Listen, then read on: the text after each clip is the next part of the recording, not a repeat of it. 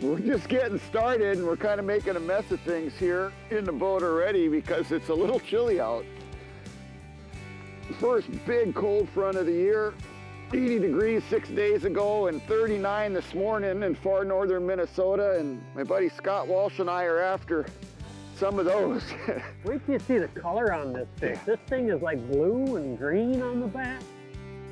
Largo shad is Choked. is gone. And that's what we're chasing, a little northern Minnesota gold. Probably run into a few smallmouth and who knows, maybe a big northern up where we are. Whew, good start.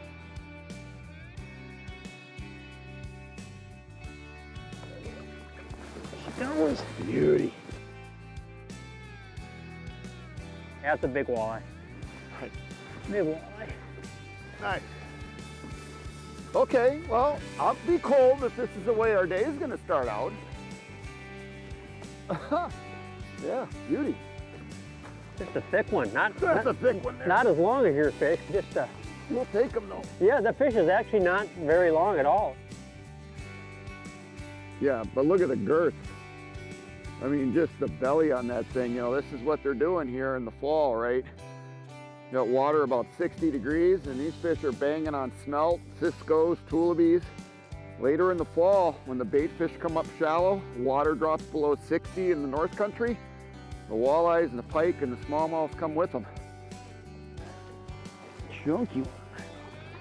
Boom. Been a cool morning, you know. We got those first two fish just bang, bang, you know, literally back to back casts and thought, here we go. Because we were seeing fish on Mega Live. It was just a small hump, but there was at least a dozen nice fish there. And we threw the tackle box at the other ones and never got bit again. So we started hopping spots, using our electronics to graph. Ended up on this spot here and there's fish all around us. There's a nice walleye there. Moontail. He got to the boat, thought he was a smallmouth. Yeah, going to jump like a bass.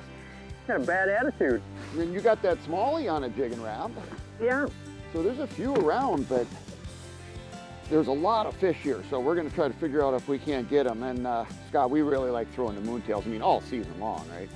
Yeah, that moontail is it's such a cool bait. It's got like a kind of a sleek darting action on it and it's just it's fun to fish. It's almost like a I don't know, I almost feel like you're fishing a jigging Rap with hair when you're snapping it. You know, it's just a cool and once you once you hook them on that thing, you don't lose them. Yeah. Oh, You know, that single hook on that, that that tech set bend hook is just wicked.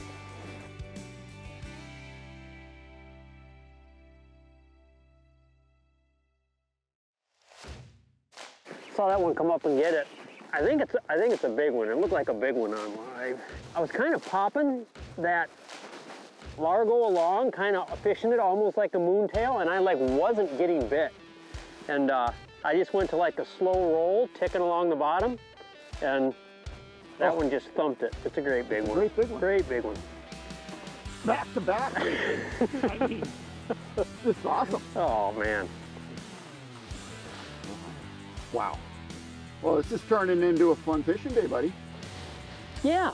Yeah, right? You just do whatever. You just throw up on the rocks and you catch these like cast after cast. Terrible.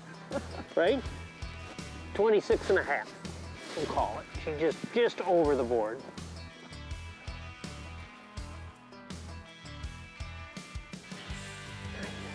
He just, that Largo shad is gone. it's gone.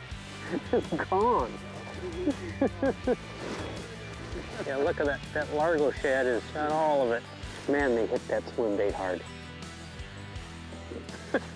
that's a fun, that's a fun bite. You're trying to fish that thing slow because the water's in the 50s, and you're just crawling it along, and all of a sudden it's just bam.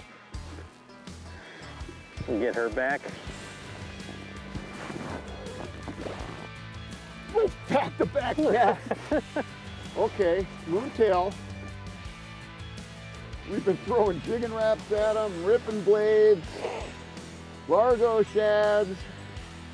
Oh yeah, that's a nice These fish. are real nice fish. Real big. I mean, real nice. This is why we come up here in the fall right here is for monsters like this. This is so fun. Oh, that's an eight pounder, I think. That's a thick one. That's a thick one. Holy cow. Oh, It did not fight like that big of a fish. That's crazy. Oh, that's a real big one. What are you thinking it is there? Like a 28 incher probably? I don't know. Oh, it's several inches longer than the 26. 28, 29 maybe? 28 or 29. This is this is a this is a nice one. Oh, boy. This is a really nice one. Oh, boy. Come here. Oh. okay, folks. You hear us giggling. You know why we come up to northern Minnesota in the fall.